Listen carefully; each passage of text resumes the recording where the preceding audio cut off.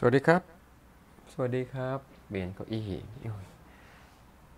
อะอย่างนี้ก็ได้ เดี๋ยวดูสิหมายังโอ้มาแล้วมาแล้ว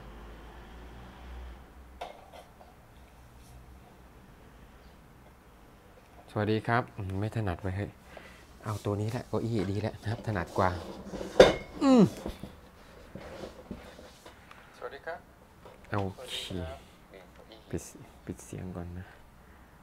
วัดนะครับ โอ้วันนี้วันเสาร์วันเสาร์ฝนตกนะครับ อืมสวัสดีครับ วันชัยนะครับ สวัสดีทีมลูกปัด7เม็ดนะครับสวัสดีทุกท่านเลยนะสวัสดีครับ คุณขวัญน้ำตาลเฮ้ยพี่อูดบ้านโป่งนะครับ มาดูด้วยนะครับ ออกทะเลไม่ได้ละสิพี่ นะ ออกทะเลไม่ได้ละสิเลยมาดูนะครับแหมทุกทีไม่เห็นมาสวัสดีครับน้าจอร์ดนะครับสวัสดีครับน้าจอร์ดนะครับ อ่าสวัสดีครับน้าจอร์ดนะครับน้าจอร์ดเดี๋ยวผมบิ้วคันให้คันหนึ่งนะ ให้สำหรับน้าจอร์ดนะครับ เป็นคันลอยไปอินทรีผมวันนั้นรื้อไกด์เจอ มีไกด์เกยหมดเลย เดี๋ยวทำไว้ให้น้าจอร์ดสำหรับตกอินทรีอย่างเดียวเลยนะครับ อ่าให้น้าจอร์ดให้น้าจอร์ดนะมีมี blank อยู่มี seat มีอะไรอยู่นะครับมียางมีอะไรหมดทุกอย่างเลย ผมไปรื้อรื้อของเจอเพียบเลยนะครับ สวัสดีทุกท่านครับนะครับ สวัสดีทุกท่านเลยนะครับ เดี๋ยวอรอเพื่อนสมาชิกแป๊บหนึ่งนะครับเเมื่อกี้ผมลงไปถ่ายวิดีโอมานะครับ เกี่ยวกับการ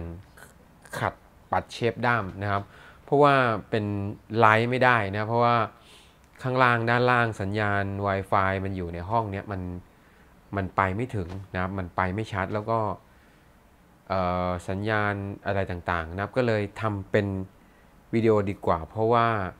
ขัดด้ามเนี่ยมันก็ไม่มีเวลามาตอบคอมเมนต์อยู่แล้วล่ะไลฟ์ไปเราจะให้ดูวิดีโอนะวิดีโอก็ไม่ได้ตัดอะไรมากนะครับ ทีแรกใช้ 2 กล้องนะครับ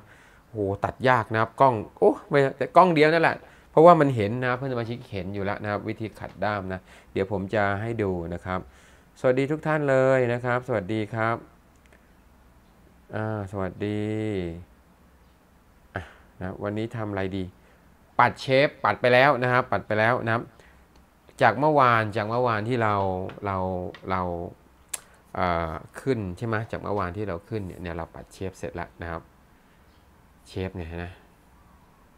เสร็จละเชฟเนี่ยนะครับด้ามจะจะจะอ้วนนะครับนิดหนึ่งเพราะว่าเจ้าของคันเบ็ดคันนี้ค่อนข้างที่จะตัวใหญ่นะครับพี่ตุ้มมือใหญ่ด้วยนะครับ ผมก็จะปัดให้มันกระชับมือนะครับ ก็เลย มันก็จะดูอ้วนนิดหนึ่งนะอ่าจะไม่เหลียวบาง เพราะว่าตัวเจ้าของคันค่อนข้างที่จะมือใหญ่นะครับ มือจะใหญ่หน่อย ทักทายครับ สวัสดีครับอ่าสวัสดีทุกท่าน สวัสดีทุกท่านสองสวัสดีครับอ่า เดี๋ยวจะเปิดวิดีโอให้ดูนะครับปัดเสร็จแล้วนะครับยังไงนะครับอะก็ต้องมาเก็บยางที่เราตัดนะครับ เก็บยางที่เราตัดนะครับเก็บยางที่เราตัดที่อะไรอย่างเงี้ยนะเดี๋ยวจะทำให้ดูนะครับปรับกล้องตรงนี้มาทำให้ดูนะว่ายางที่เราตัดยังไงนะครับ แล้วเดี๋ยวไปชมวิดีโอกันนะ วันนี้ฝนตกนะครับ ไม่รู้ว่าเพื่อนสมาชิกไปไหนกันบ้างนะครับ ผมก็จมูกตันๆนะครับ แล้วก็พรุ่งนี้มีแมตช์คนแก่นะครับ เดี๋ยวพรุ่งนี้เนี่ยเขามีแมตช์ตกปลาช่อนนะครับ เป็นแมตช์ในกลุ่มกันเองนะครับ ผู้สูงวัยทั้งหลายนะครับ ผมเด็กสุดนะกับปิ๋มเดี๋ยวผมก็จะไปตกกับพวกผู้เฒ่านะครับของผมแล้วก็ถ่ายไลฟ์ด้วยนะพวกเนี้นะ ไลฟ์ด้วย แล้วก็เอาโดนบินตามผู้เท่าผมเลยนะบินตามผู้เท่าเลยว่า ผู้เท่าผมจะได้ปลาไหมนะพรุ่งนี้นะนะนะครับ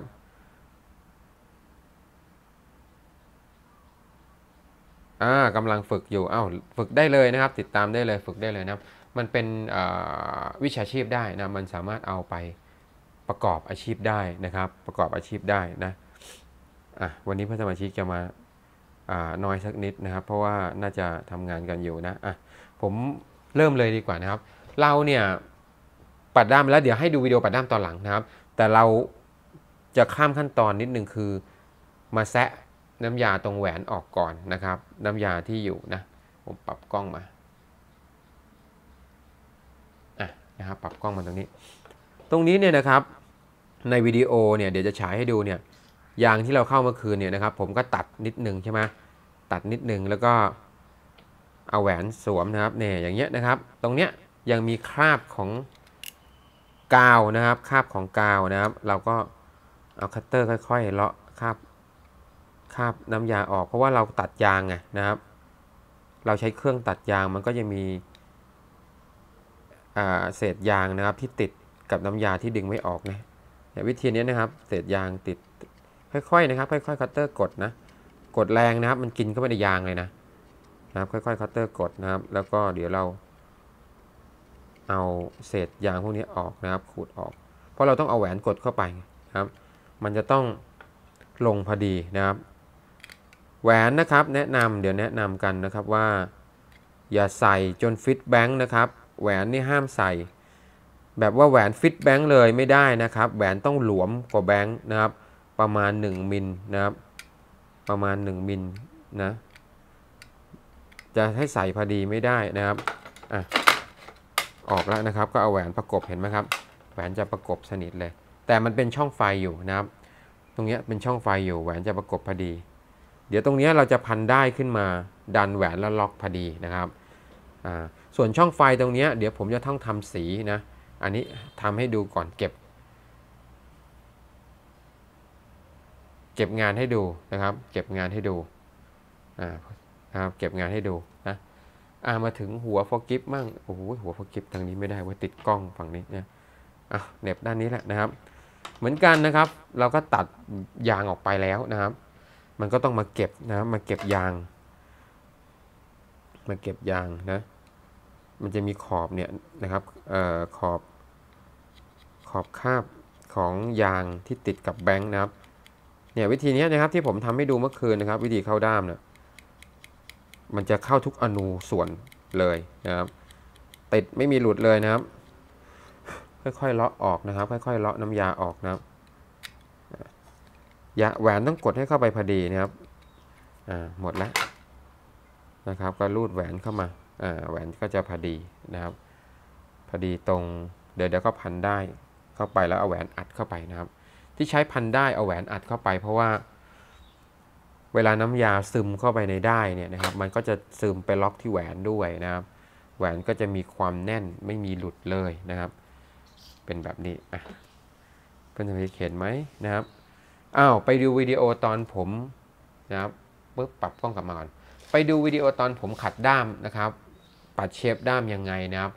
มันจะมีความยาวอยู่ 20 กว่านาทีนะครับ ผมก็จะ ปล่อยรันให้เพื่อนสมาชิกดูกันไปเลยนะครับ ประมาณ 27 นาทีนะครับ จะได้เห็นว่าขัดยังไง แต่ผมคิดว่าเพื่อนสมาชิกมองจากภาพเห็นนะครับ ทีแรกใช้ 2 กล้องแล้วก็โอ้ตัดนะครับเราเอาเร็วนะครับเราเอาเร็วแล้วแต่ว่าภาพมันมองแล้วเข้าใจอยู่แล้วนะครับ ภาพมองเข้าใจอะไปดูกันนะครับ ไปดูตอนที่ผมปัดเชฟด้ามคันกัน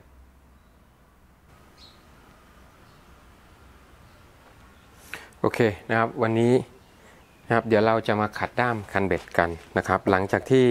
เมื่อวานเนี่ยนะครับเราอัดน้ำยาเรียบร้อยแล้วนะครับอ่านะครับสิ่งที่ต้องทำนะครับคือต้องเอาสกอตเทปนะครับบล็อกตามจุดที่คิดว่ากระดาษทรายจะลงไปโดนนะครับ อย่างเนี้ยตรงเกลียวเรลซีดท้ายเรลซีดตรงเดือยนะครับ พันเก็บให้หมดนะครับ ตรงแบงค์ช่องไฟระหว่างนี้ บางทีเรากระดาษทรายเราปาดไปโดนนะครับ หรือ ตรงนี้นะครับ ตรงปลายฟอกิฟนี่นะครับอพอทำเสร็จแล้วอย่างนี้นะครับ สิ่งที่ต้องมีนะก็คือหนังยางนะครับ หรือยางในรถยนต์เนี่ยนะครับ ยางในจักรยานพวกนี้นะนะครับแล้วก็ตัดไว้เพื่อหุ้มตรง blank แล้วก็เอาใช้ตัวกลึงเอ้ไม่ใช่ตัวมอเตอร์หนีบนะเพราะว่ามันจะจับอยู่กว่าสกอตเทปสกอตเทปเนี่ยพอเราจับไปแล้วเนี่ยนะครับ แป๊บเดียวเนี่ยเดี๋ยวมันก็จะคลายตัวขยับได้นะครับทำให้ฟรีได้นะและอีกอย่างหนึ่งคือต้องบล็อกสกอตเทปตรงลูกล้อนะครับ ตรงคันเนี่ยตรง blank เนี่ยบล็อกสกอตเทปไว้ด้วยนะครับ ตรงไหนที่มีลูกล้อแท่นเนี่ยก็บล็อกสกอตเทปไว้นะครับ เพื่อที่จะเวลาปั่นเนี่ยจะได้ไม่เป็นรอยมากนะอ่าก็ใส่ใส่เข้าไปนะครับ แล้วก็หมุนนะครับหมุน หมุนแท่นให้จับนะครับหมุนแท่นให้จับ ไขพอตึงมือนะครับ เพราะว่าตัวจับตัวนี้อ่าปั่นดูโอเคตรงปรับสแตนให้ตรงนะครับ ปรับสแตนให้ตรงกับคันเบ็ดนะครับ ไม่งั้นถ้าปรับไม่ตรงมันจะหลังจะแกว่งนะอย่าปรับให้ตรงนะครับเดี๋ยวผมปิดก่อนล็อกก่อนนะครับล็อกปุ๊บเดี๋ยวผมเทสสิ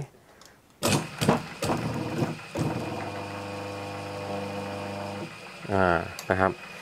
ใช้ได้นะครับ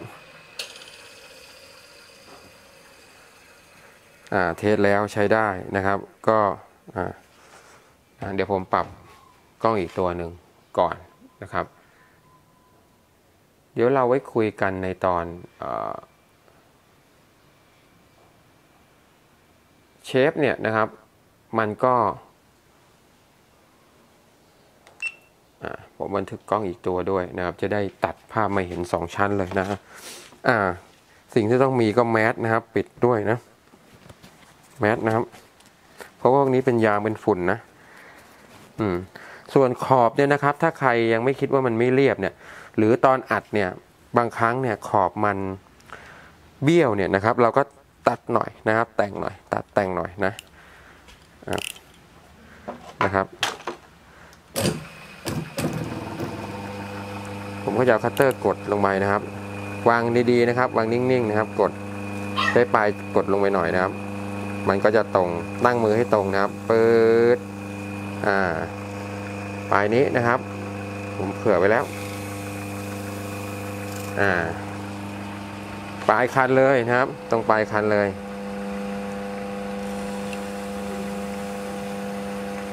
การกดอย่ากดคัตเตอร์ลงไปแรงนะครับ กดคัตเตอร์ลงไปเบาๆพอนะครับ กดแรงเดี๋ยว blank ขาดนะอ้อ แล้วก็ดึงยางออกนะครับได้ละดึงยางออก ดึงยางส่วนที่เราไม่เอาเนี่ยออกนะครับ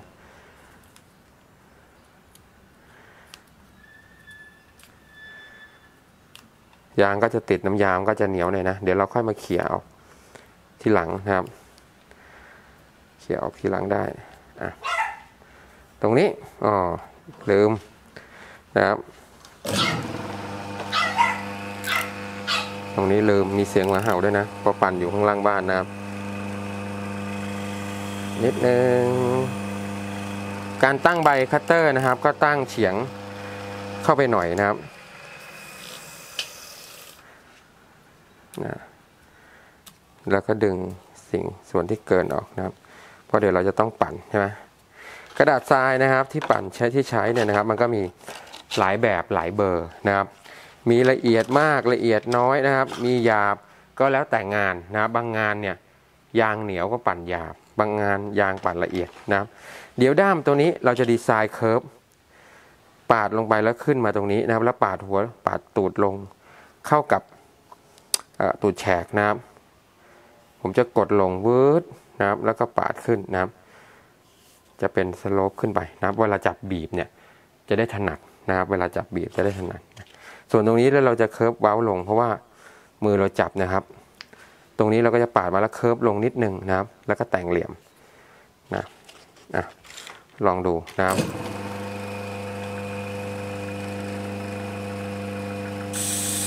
นี่นะครับเวลากดไปงี้นะครับกระดาษทรายมันก็จะหลุดอย่างนี้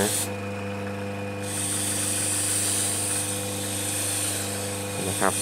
แต่งทรงไปนะครับ เอาทรงไหนก็แล้วแต่จิตศรัทธานะครับ แล้วแต่ชอบเลยนะ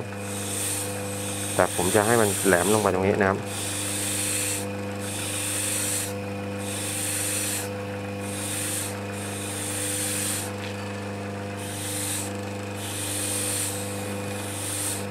ก็ปั่นทรงไปวืดวืด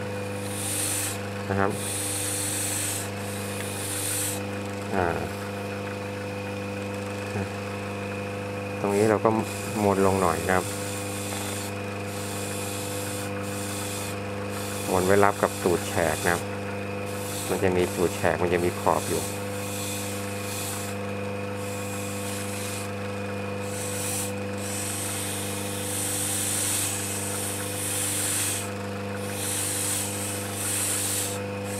แล้วค่อยๆไล่นะครับ กลึงก็ใจเย็นๆนะครับ อย่ากลึงใจร้อนนะครับ มอเตอร์นี้ดียังไงนะมอเตอร์นี้เร็วนะครับ แล้วก็มอเตอร์ตัวนี้ประมาณ 20 ปี ใกล้เคียง 20 ปี 20 ปีนะประมาณนั้นนะครับ ชุดเนี้ยนะครับชุดแท่นเนี่ยนะเก่าแก่แล้วนะครับอ่าแล้วก็ปิดดูสิดูทรงมันหน่อยเป็นยังไงครับอ่าดูทรงแม่เริ่มเป็นทรงหน่อยแล้วใช่ไหมเริ่มเป็นทรงหน่อยแล้วนะครับ เริ่มเป็นทรงหน่อยแล้วนะ อ่ารีโมทผมหายไปไหนนะครับ เริ่มเป็นทรงหน่อยแล้วอะเดี๋ยวผมไปดูกล้องตรงนู้นก่อนนะ มันตัดหรือเปล่านะครับอ่าโอเคยังยังยังมันคลิกอยู่ แต่ตรงนั้นมันตัดนะครับงงงงงงอ่าเดี๋ยวเราตัดต่อเนี่ยนะครับ เริ่มเป็นทรงแล้วนะครับ เริ่มเป็นทรงหน่อยนะฮะวัด แหวนดูสิต้องให้มันพอดีขอบแหวนด้านนี้นะครับ ตรงนี้มันก็อยู่ที่จิตสัตอยู่ที่ดีไซน์ของแต่ละคนนะครับ อยู่ที่ดีไซน์ของแต่ละคนนะ เอาตามความชอบของตัวเองเลยนะครับ จะกึ่งทรงไหนอะไรก็จัดกันไปนะครับ แต่ผมจะเอาตรงนี้ลงอีกหน่อยนะครับ ผมจะเอาลงอีกหน่อย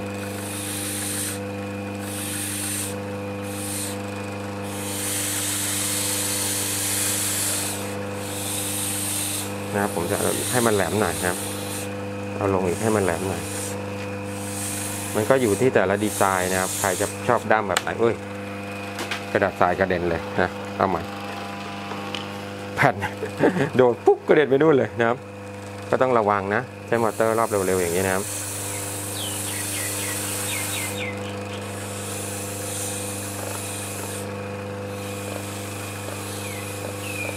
ตรงนี้ผมก็จะเพิ่มลงนะครับ ระดาษทรายมีหลายเบอร์นะครับ แล้วแต่ว่าจะใช้ยังไงนะครับ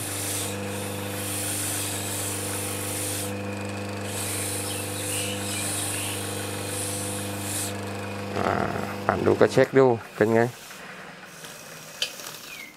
โอเคไหมแหวนมากดเด้อ๋อแหวนโอเคนะครับใกล้ตำแหน่งที่สวยงามนะครับ เดี๋ยวจะลงอีกสักนิดนะครับ ลงอีกสักนิดนะ เอาลงอีกสักนิดนะครับ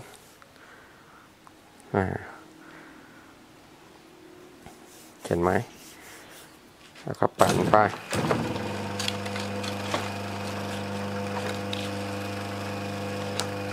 ปั่นไปนะ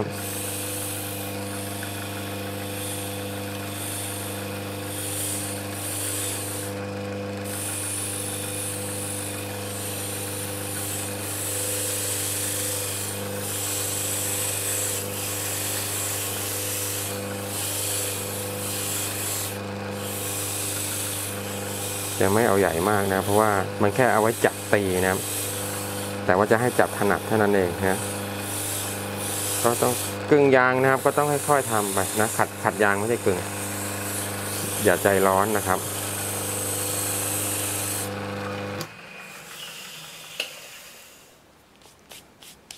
กึ่งไปก็เช็คไปด้วยนะ ว่าเป็นยังไงนะครับอะเดี๋ยวปิดตัวนั้นก่อน อ่าเราก็ดูนะครับว่า เอ้ย โอเค นะครับ เสร็จแล้วก็กระดาษทรายที่ละเอียดกว่านะครับ อ่าอันนี้ละเอียดกว่า กระดาษทรายก็จะมีเบอร์บอกนะครับ ก็ซื้อก็ดูก็ตามเบอร์เลยนะครับ กระดาษละเอียดกว่าลงนะครับเพื่อยางเรียบ ตรงแต่งนะครับเพื่อยางเรียบ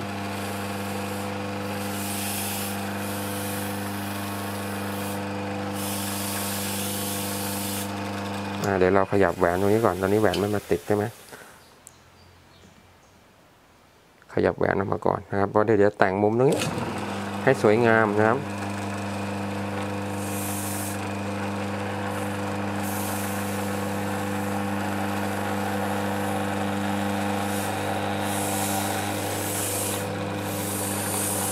แท่นเนี่ยนะครับออ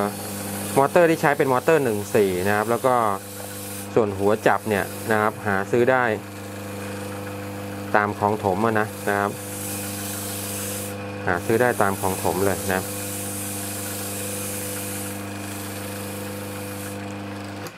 อ่าเนียนยัง ดูนะครับ เนียนยัง อ้าว เนียนแล้วไหมโอ้แหวนพอดีนะครับ อะ ก ดขอบตรงนี้อีกหน่อยนะครับ แต่งขอบตรงนี้ให้คมๆหน่อย หากระดาษทรายละเอียดเลยนะครับ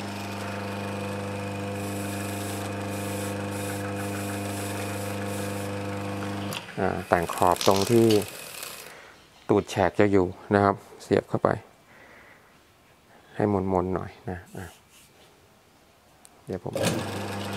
คิดว่าเอาลงอีก อีกนิดนึงนะครับ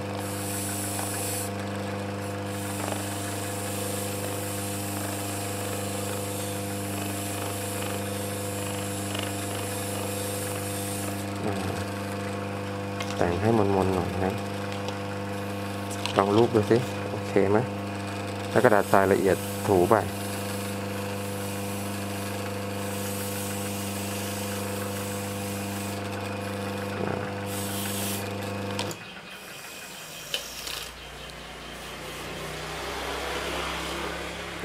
ลงโอเคแล้วนะครับ ตรงนี้จะไว้ไวจับก็มากึงด้ามตรงนี้ต่อนะครับ ตรงนี้ก็จะให้มันเป็น curve หน่อยนะจะให้มันเป็น curve ลงไปหน่อย แล้วก็แต่งก่อนนะ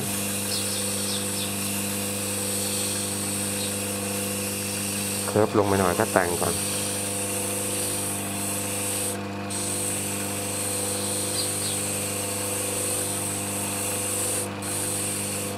ก็จี้นะครับเป็นจุดๆไป อยู่ที่จินตนาการเลยนะครับ ด้ามเนี่ย อยู่ที่จินตนาการของแต่ละคนเลย เอาตามความชอบนะครับ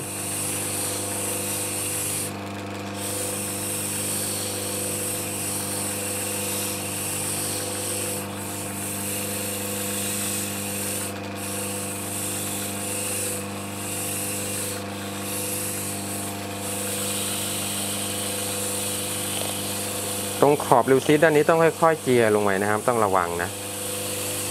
นะครับเจียเร็วไม่ได้นะครับ เดี๋ยวมันกินริวซิสนะ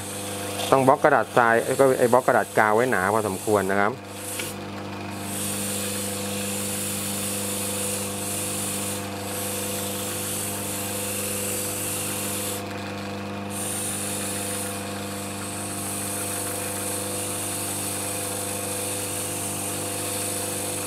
อันนี้เป็นคันของพี่ตุ้มพี่ตุ้มมือจะใหญ่ทั้งนิดนะครับ ผมจะไม่ไม่เจียลงมากเพราะว่าพี่ตุ้มนี่ ตัวใหญ่นะครับ มือแกก็จะใหญ่ทั้งนิดนึง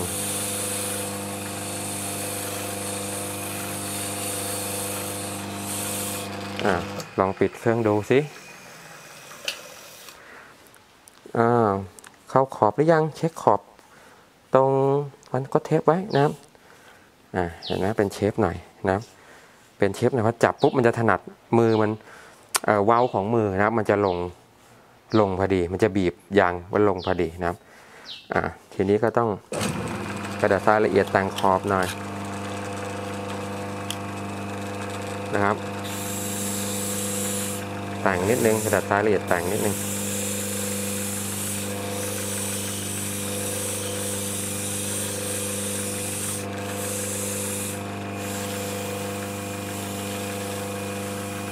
ค่อยๆไล่นะครับตรงนี้นะครับ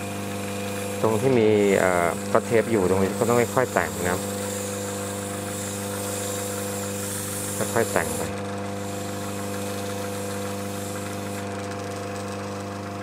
แล้วก็หากระดาษขอบนะครับที่เป็นขอบ แต่งนิดนึงนะค่อยๆกดนะครับแต่งนิดนึง ดูซิว่าโอเคไหม อเคไหมอืมเนียนกริปนะครับเดี๋ยวตรงนี้เดี๋ยวเราจะปาดหัวมันจะแต่งอีกหน่อยนะครับ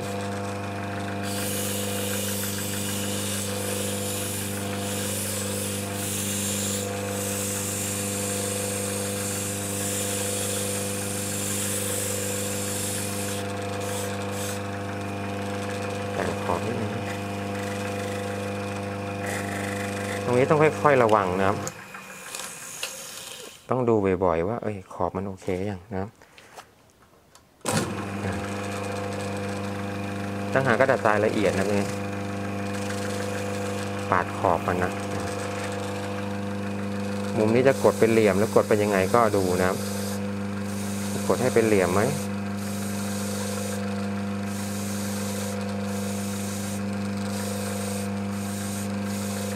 ก็กดดู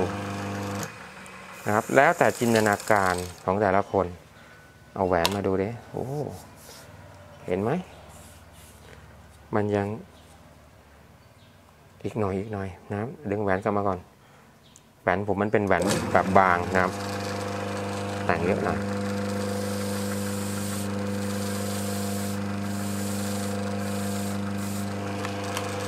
ให้มัน อบมันใกล้กับแหวน อ่า ใกล้แล้วนะอ่านะครับ ก็ปั่นอย่างเงี้ยไปนะครับ ปั่นอย่างเงี้ยไปก็ส่วนทรงเนี่ยก็แล้วแต่ แล้วแต่จินตนาการเอานะครับ แล้วแต่จินตนาการเอา ว่าใครอยากจะได้ทรงไหนหรืออะไรนะครับ นะ ว่าใครอยากได้ทรงไหนหรืออะไรนะครับ ตรงหัวผมก็จะปั่นนะครับแบบจับแล้วมันเข้าอุ้งมือ นะครับ จับแล้วมันเข้าอุ้งมือนะเดี๋ยวจัดกล้องก่อนนะครับ จัดกล้องใหม่ก่อนนะครับจัดกล้องใหม่ก่อนอ่ามาตรงหัวมั่งนะครับนะเดี๋ยวย้ายกล้องตรงนี้ มาที่ตรงด้านของหัวลิวซีดบ้างนะครับเห็นนะ ตรงนี้นะครับเราก็จะจะปัดแบบเอาไม่ถนัดไว้ฮะอะ เดี๋ยวให้มันอยู่ข้างนี้แล้วกันครับ เดี๋ยวผมจัดกล้องตัวนี้นะครับ จะได้มองให้ถนัดไม่ใช่หรออะได้แล้วนะครับ ตัวนี้เนี่ยเดี๋ยวผมจะแต่งแบบที่ดึงยางที่ตัดออกไปก่อนนะครับ แต่งแบบ curve ตรงนี้ลงนะครับ curve ตรงนี้เดี๋ยวนะ จับก่อน ให้ตรงนี้เป็นอุ้งนะครับ curve ลงนิดนึงนะครับ ปาดหัวนี่ก่อนแล้วก็ curve แล้วก็กดตูดลงนะครับ กดช่วงเนี้ยมือจะบีบแล้วจับถนัดนะครับ ให้มันเข้าอุ้งมือเราด้านนี้นะครับเข้าอุ้งมือตรงนี้เลยอะเดี๋ยวมาลองดูนะครับ ต้องค่อยๆแต่งนะครับตรงนี้ก็จะเป็นทรง standard ปกตินะครับที่ส่วนใหญ่จะใช้กันนะคันปลาบึกคันอะไรเนี่ยนะครับ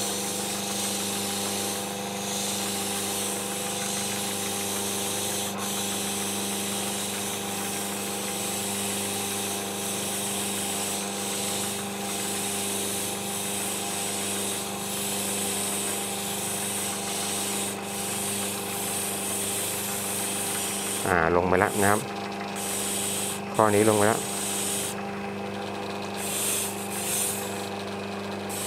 ไล่ตรงนี้ลงไป ไล่ขอบด้านนี้ลงไปนะครับ ไล่ขอบด้านนี้ลงไปก่อนนะครับค่อยๆไล่นะครับค่อยๆแต่งนะ เพราะว่าใจร้อนนี่ฟืดเลยนะครับ ใจร้อนนี่ยางฟืดเลยนะครับค่อยๆแต่งนะครับ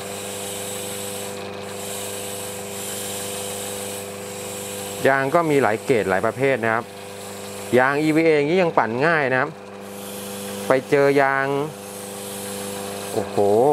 ไฮโพลอนเมื่อสมัยอดีตนะเป็นยางไฮโพลอนนะโอ้ยปั่นขี้แตกเลยเหนียวมากนะ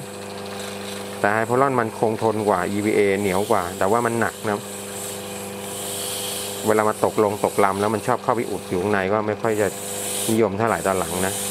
แพงกว่าด้วยนะแพงกว่า EVA ด้วย อะพอถึงก็ไล่ curve นะครับ ไล่ curve ลงมา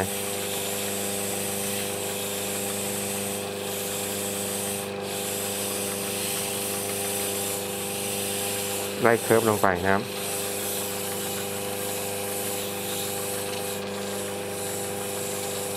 ค่อยๆไล่นะครับ อะ ลองปิดดูก่อนนี่ปิดดูก่อน โอเคไหม ลองวัดดูก่อนนะครับ ปิดดูก่อน ปัดฝุ่นที่ออกสิอ่าใกล้แล้วนะครับใกล้แล้วนะครับอ่าเห็นไหมพอไล่เคิร์ฟลงไปแล้วนะครับ เดี๋ยวเราจะไล่อีกหน่อยนะครับ ไล่เชฟอีกหน่อย ให้มันดู เรียวกว่าเป็นร่องเรียวกว่านี้อีกนิดหนึ่งนะครับ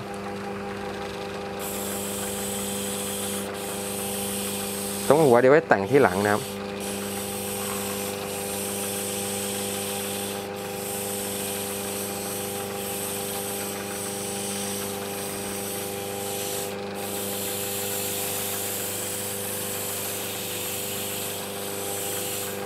เอาถนัดนะครับจับเอาถนัดเลยเพราะคันนี้เพราะเวลาอัดเราต้องจับพอคลิปตรงนี้อยู่แล้วนะครับ เอาต้องเหลาให้ถนัดเลยแหละนะครับ ใหญ่ไปเล็กไปก็อยู่ที่ศีรีระของคนนะครับ มือคนเราไม่เท่ากัน พี่ตุ้มเจ้าของคันนี้เออแกตัวใหญ่นะมือแกก็ใหญ่หน่อยครับ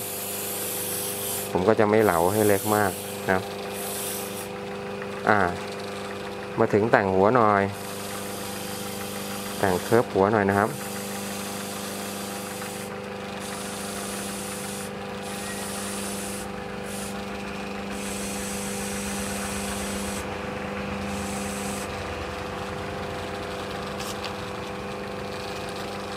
อืมทีนี้กระดาษทรายละเอียดแต่งนิดนึง กระดาษทรายละเอียดแต่ง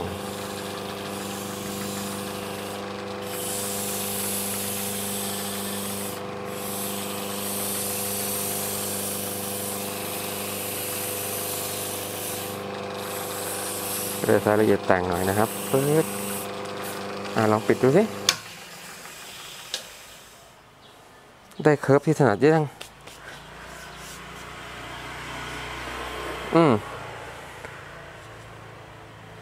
นี่จับนะครับ ได้เคิร์ฟที่ถนัดแล้วยัง โอเค มาจับละอ่า ทีนี้ก็แต่งขอบมันนะครับคิดไว่าได้ทรงละ ได้เคิร์ฟที่ถนัดละนะครับ ก็แต่งที่ขอบครับแต่งที่ขอบหน่อย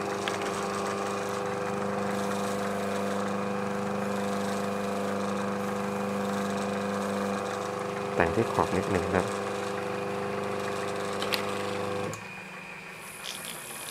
กระดาษทรายก็อย่างที่บอกนะครับ มีหลายเบอร์หลากหลายนะครับ หลายเบอร์เลยแหละะเดี๋ยวผมมีละเอียดอีกอันนะครับ อันนี้เราก็จะแต่งอีกนิดนะครับ กระดาษทรายละเอียดรูป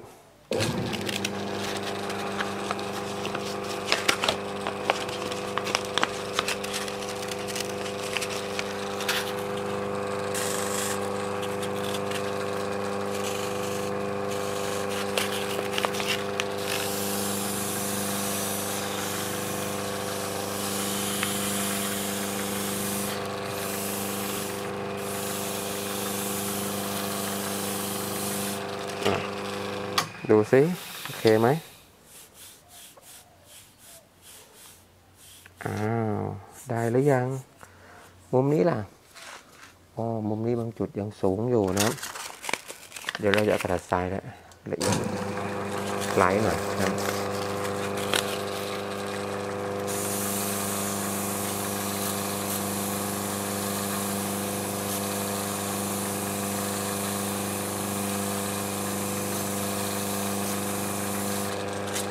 ราย ละเอียดแต่งน้อย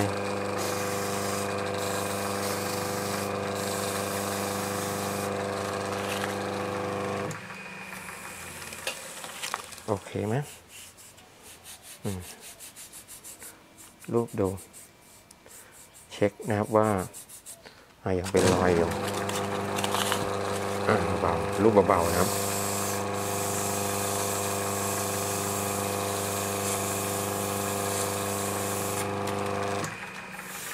มือไปโดนกล้องเลยอ่าเนียนนะครับ เนียนล้วนะครับ ก็ เป็นอันเสร็จนะครับ แต่ผมก็จะดึงขอบนี้ลงอีกหน่อยดีกว่านะครับ เดี๋ยวนะ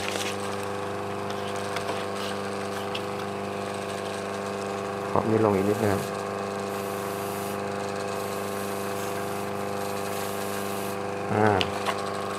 ปั่นขอบนี้ลงอีกสักนิดนึง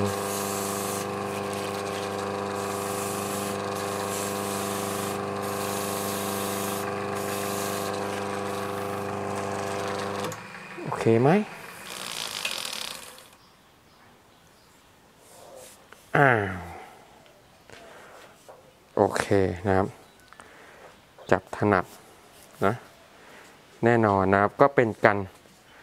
เสร็จนะครับ เป็นอันเสร็จนะครับอะโอเคจะตัดกล้องก่อน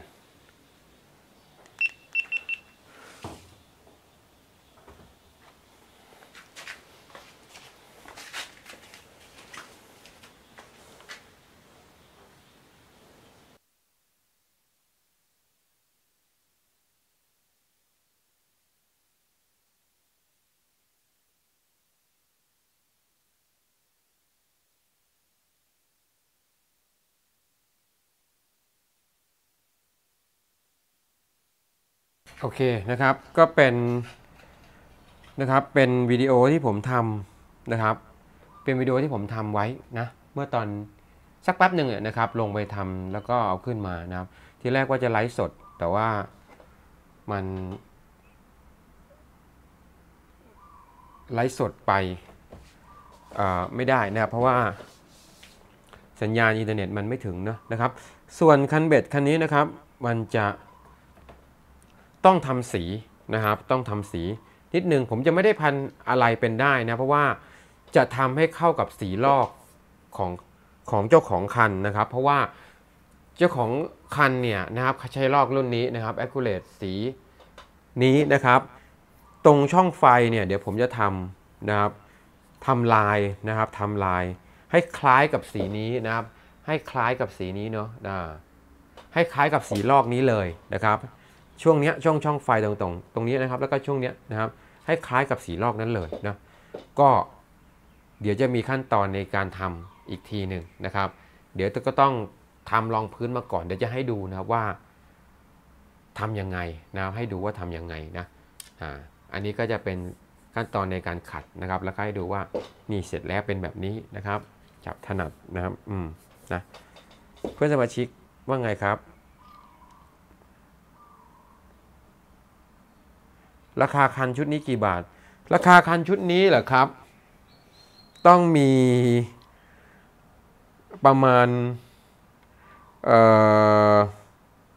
หมื่นต้นๆเนาะนะประมาณนั้นนะครับประมาณหมื่นต้นๆนะครับ เป็นคันของ